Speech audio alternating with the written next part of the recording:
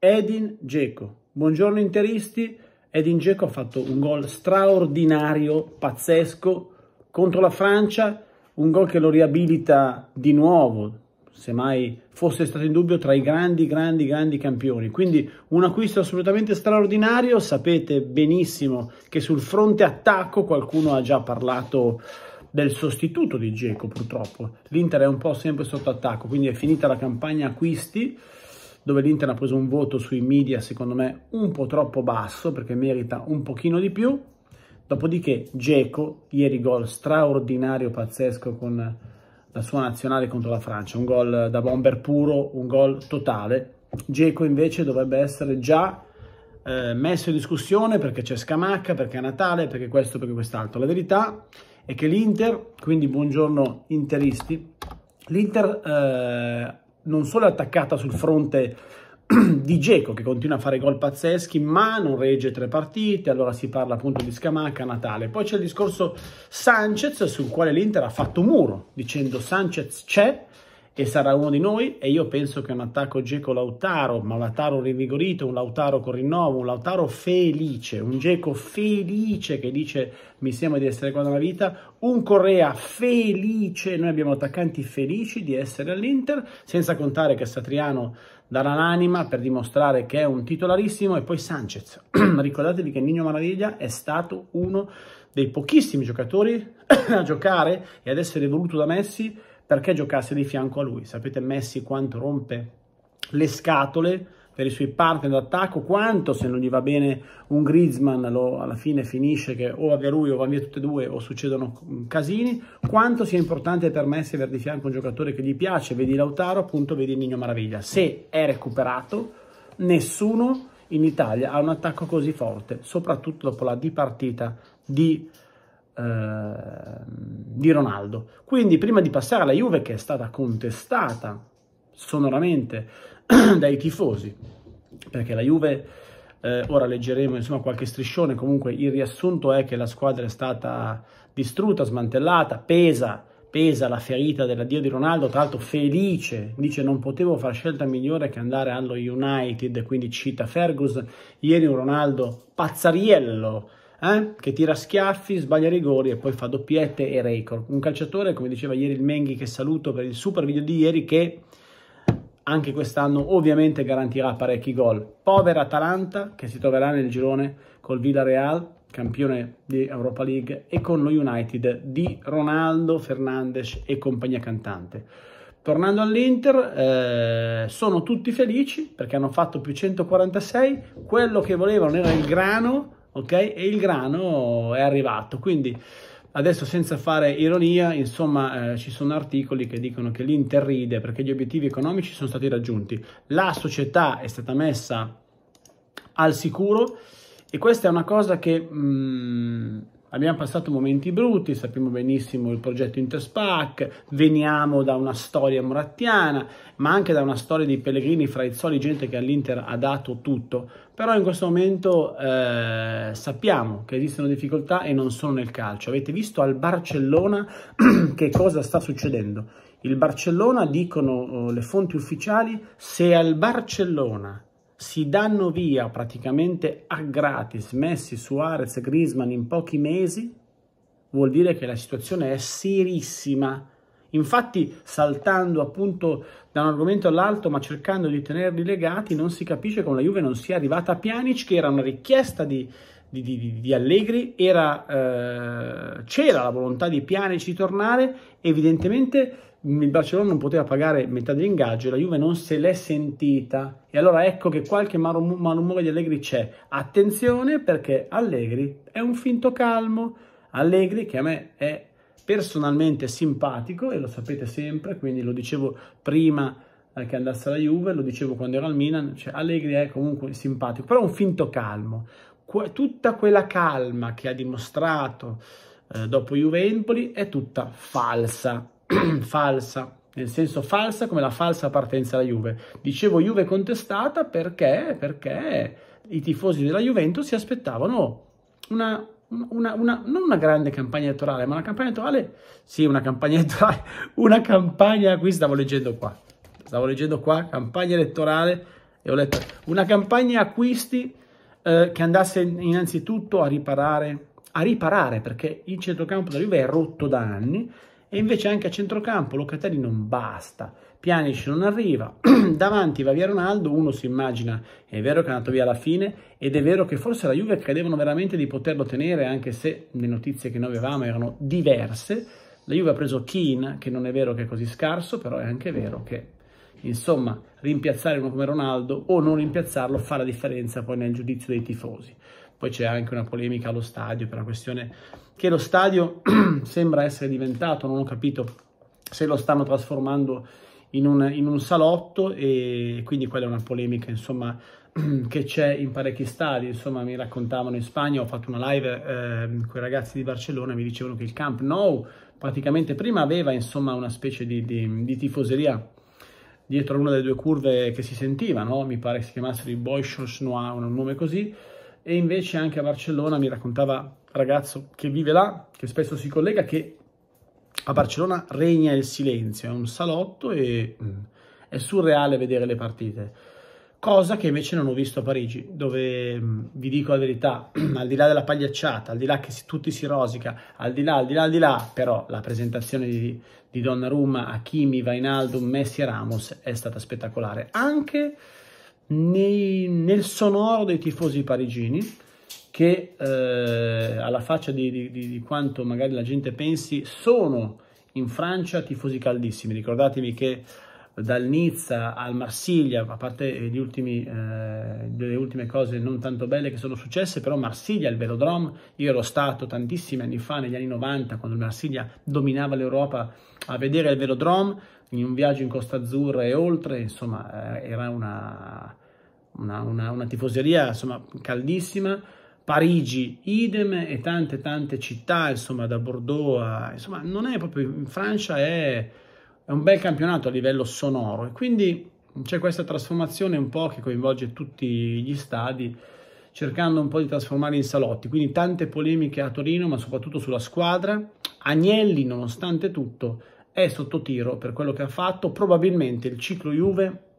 un pezzo del ciclo Juve si è concluso senza il grande obiettivo che era la Champions, che è sfuggita insomma parecchi anni e ora, che sembra lontano non per la Juve ma per tutti, perché la Juve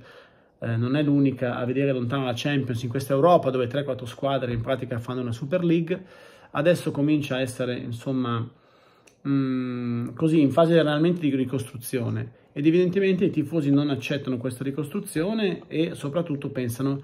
che nonostante questi addii si potesse fare meglio, insomma, dopodiché è chiaro che incide anche la brutta partenza sul mercato. Quindi dicevamo, insomma, il saldo positivo dell'Inter ufficiale, invece tornando alla nostra squadra, è di, questo è un articolo di Cavasini che vi invito a leggere su FC Inter News,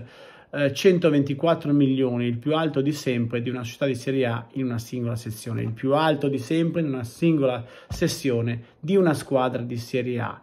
Eh, tra l'altro, appunto, a, a, a parte Van Oysen, da 16 milioni l'Inter, eh, le cifre le abbiamo date, insomma, qui dice ehm, tra l'altro che Sossios ha portato 21 milioni lo sponsor, 12 dalle 9, 6 e 6,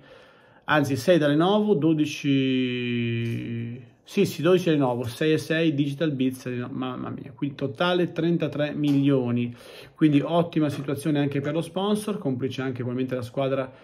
che è campione d'Italia. Ok, um, qui c'è un altro affare, ecco, zittare Digital Bits, affare da 85 milioni di euro, leggete l'articolo, dopodiché c'è il discorso Inter. Post anda, Onana sembra preso, ma io non ho fonti, quindi non, non, non so nulla, eh, ci sono gli occhi su Meret che si è fatto male al Napoli e anche su Cragno. Eh, scalpita Radu per giocare, ovviamente dopo Geco Vecchio Andanovic è stato messo in discussione per quello che è successo in casa col Genoa, per quello scapuscio e anche per il discorso di Verona. Mi sembra un po' troppo, Attenzione perché Anda, che non è certo un fenomeno ultimamente, si esalta nelle grandi partite, Ehm, logico che questo mh, problema noi ce l'avevamo anche per l'età di Andanovic per qualche errore di troppo, però stiamogli vicino perché sennò cominciamo a fare il gioco della concorrenza. L'Inter è virtualmente in corsa per la riconferma del, dello scudetto, quindi calma e sangue freddo.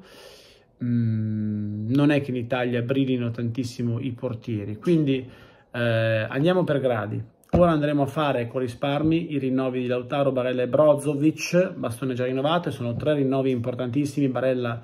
assolutamente fondamentale, Lautaro diventerà l'icona dell'Inter e già si sente importante. Lukaku era ingombrante nello spogliatoio, ne... questa cosa l'ho sempre notata perché mi piacciono le dinamiche di gruppo, quindi Lautaro ha preso più, non so, sembra anche molto più sorridente, poi c'è il suo amico Tucu con cui farà coppia in Argentina, probabilmente eh, in attacco, Brozo che ormai è un'icona dell'Inter e mm, e così insomma questi soldi serviranno per il rinnovo. Al discorso portiere no, dicevo che sul portiere Conte era stato il primo a voler mettere parola su questo discorso, infatti si era parlato all'epoca addirittura di un grande tentativo di poter soffiare Donnarumma non solo al PSG ma soprattutto alla Juve, Juventus che probabilmente come dicono in tanti e potrebbe essere vero, ora che Ronaldo non c'è eh, più avrebbe potuto investire in un, eh, in un grandissimo portiere, cosa che avrebbe anche calmato la piazza, insomma, non certo i tifosi del Milan che sono arrabbiatissimi. Ehm, c'è un editoriale bello, Messi Ronaldo e poi c'è il saldo dell'Inter, il racconto di un calciomercato farsa. Io queste cose non le leggo neanche perché le ho scritte, cioè prima di leggere le ho scritte io anni fa. Ok, Vieri senza CR7 Inzaghi è favorito, Mourinho fa il doppio gioco e, e poi questo articolo appunto sempre di Cavasini, che recita il discorso Andanovic ora vacilla, ma non per altro, non perché qualcuno arriva da fuori, ma perché Radu sembra che sia veramente in grado di fare, di fare la differenza e di, di, di, di giocare e di, di, essere pronto, insomma, l'abbiamo visto anche in qualche amichevole, insomma, sembra un Radu, tra l'altro, che ha molta fiducia nel, nel giocare con i piedi, ok? Ok, adesso parola nazionale, Panchinaro, ve lo faccio vedere, Panchinaro al PSG, titolare con l'Italia, la strana estate di Gigio. La strana estate di Gigio vuol dire che quando mi dite le fonti, le fonti, bla bla bla, che non ci sono, eh, le fonti, le fonti dicono una cosa che oggi è strana, io però l'ho anticipato due mesi fa, quindi due mesi fa, anzi di più, ho detto guardate che sarà un Panchinaro, poi dopo, chi lo sa, Navas, 34 anni, giocherà. Io vi dico che Donnarumma è andato là e parte dalla panca, poi voglio dire, abbiamo appena parlato di Andanovic, però vi dico quello che so dalle fonti alle fonti. No, no, Donnarumma, Navas è vecchio, Navas è qua, sì, amico ospitatorio, però Donnarumma è fenomenale, campione d'Europa, eccolo qua. Panchinaro al PSG, titolare con l'Italia, la strana estate di Gigio. Quindi se è strana è perché dici, cazzo, strano, strano. Allora, se è strano ti vai a rivedere i video di Fabio Bergomi dove ti dicevo perché invece la cosa mi era stata comunicata con largo anticipo perché le fonti delle fonti esistono e sono uno di quegli orgogli di questo canale insieme ai video del Menghi che battono anche le fonti delle fonti. Ok, le notizie di oggi più o meno sono queste, adesso arrivano i nazionali, ci godremo l'Italia campione d'Europa, insomma Radu pronto a prendersi l'Inter, l'Argentina e poi la firma con l'Inter, tutto un articolo bello sulla Gazzetta sui bomber dell'Inter che sono tutti in prestito, ovviamente con un'attenzione particolare a Sebastiano Esposito che, devo dire, in Svizzera sta facendo l'ira di Dio. Un saluto a Sebastiano Esposito. Una punizione pazzesca, molto molto simile a quella tirata da Tonali, forse ancora più bella per la classe con cui, eh, non che Tonali non abbia classe, Tonali è un calciatore pazzesco, però grandissima punizione di, di Esposito. Eh, Griezmann, Griezmann, attenzione, eh, va via dal Barcellona con uno strascico, uno strascico polemico, ok? Eh, ho, detto, ho dato tutto per questa maglia e me ne vado triste per non essere riuscito a godere del vostro supporto dagli spalti, ma sono orgoglioso di essere stato uno di voi. C'è qualcosa che, che, che non è mai scattato tra Griezmann e il Barcellona e quindi probabilmente un po' per tornare dai suoi tifosi che non erano contenti di vederlo andare a Barcellona, un pochino perché così non è mai riuscito forse a entrare nel loro cuore, dice orgoglioso di essere stato uno di voi, però insomma non ho mai avuto grande supporto qui a Barcellona, probabilmente l'Atletico, come diceva il Menghi, andrà, eh, andrà, insomma, fa ridere un video bellissimo di Simeone che vede entrare Griezmann a Barcellona in un Barcellona Atletico ed è, è bellissimo la faccia che fa il ciolo che ride, che dice questo era con me veramente, veramente fa ridere. Ora, um, mi avete chiesto di parlare degli svincolati, ma non penso che abbia molto senso e molto interesse. Queste qua sono le notizie insomma, principali di oggi, poi nazionali, insomma il, il ritorno dei campioni d'Europa che avranno quattro giornate. Quello che volevo dire era che il Verona sta pensando a Ribery e io non so quanto, quanto costi Ribery, però Ribery ragazzi, io un anno di Ribery stile figo me lo farei, anche qua su varie cose c'è il discorso di Andanovic, eh, poi c'è Barone da Fiorentina che parla, insomma per Vlaovic sono arrivate offerte importantissime, ma è rimasto qua, il tabellone di Coppa Italia e